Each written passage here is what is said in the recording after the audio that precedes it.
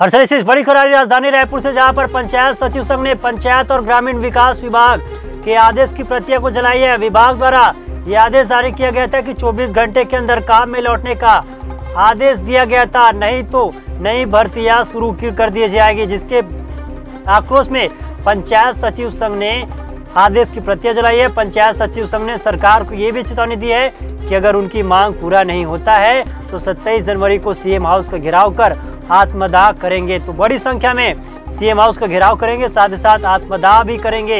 ये बड़ी खबर आपको पंचायत सचिव संघ द्वारा ये निर्णय लिया गया है।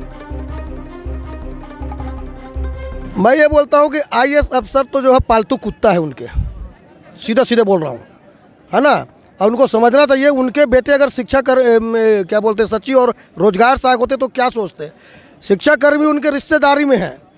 है ना? इसलिए उनकी पूरी व्यवस्था हो गई है। मैं ये बोलता हूँ कि छत्तीसगढ़ में ये सौतेला व्यवहार आई लोगों का नहीं चलेगा। कि जो आदेश हुआ ना बर्खास्तगी का और हिटलर शाही का इससे हम घबराने वाले नहीं हैं। इनके आदेश की कापी को जलाएँगे अभी। और दूसरा बात ये बोलते हैं वो बर्खास्त कर दे पद को ही समाप्त कर दे। न तो रोज़गार सहायक रहे न सचिव रहे। पूरे पंचायती राज व्यवस्था को समाप्त करें ना ये लोग। यही से सरकार चलाए पंचायत का भी। किसानों के बेटे का बात सुनेंगे? मैं एक चीज़ बोल रहा हूँ मुझे पूरा विश्वास है माननीय भूपेश बघेल के ऊपर। भले हिटलर सही आई अफसरों की चल रही है, पर एक चीज़ मैं बोलता हूँ कि नरवा, गरवा घुरवा बारी छत्तीसगढ़ के चार चिन्हारी, इनको चला कौन रहा है? आई लोग चला रहे हैं इसी रूम में बैठ करके कि रोज़गार सहायक और सचिव चला रहे हैं। उनको ये मालूम होना चाहिए कि पूरे के पूरे एक सौ एक परसेंट किसान के बेटे हैं और बेटियाँ हैं।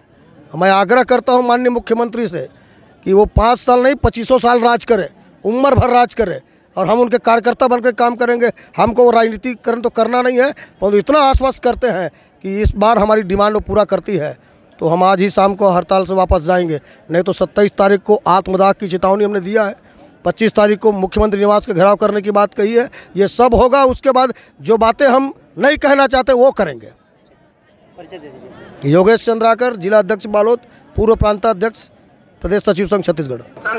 ये अभी जो पंचायत विभाग के जो सचिव हैं, आर प्रसन्ना जी, आर प्रसन्ना जी के द्वारा अभी जो आदेश प्रसारित किया गया है, किसी भी जितने भी जो सचिव जो अभी आज हड़ताल में बैठे हुए हैं, वो अपने हड़ताल से वापस आएँ। यदि अगर हड़ताल से वापस नहीं आते हैं तो तत्कालिक में सचिव की नियुक्ति की जाए इसके लिए जो आदेश प्रसारित किया गया है हमने उस आदेश के विरोध में यहाँ उनके आदेश के प्रति को आग लगाया है? सरकार को तो हम कहना चाहेंगे हम सचिव जो हड़ताल पे बैठे हुए हैं जिस मांग को लेकर के उस मांग को पूरा करें और हम जाकर के पंचायत में काम करेंगे। ये हमारा संदेश है। अभी हमारे जो सचिव आर प्रसन्ना जी ने जो आदेश तानाशाही फरमान जो जारी किया है उसका हमारा सचिव संघ पुरजोर तरीके से विरोध करता है और इसी विरोध को प्रदर्शन करने के लिए हमने उनके जो आदेश की प्रतियाँ उसको यहाँ पे जलाए हैं। वो भी एक सचिव है।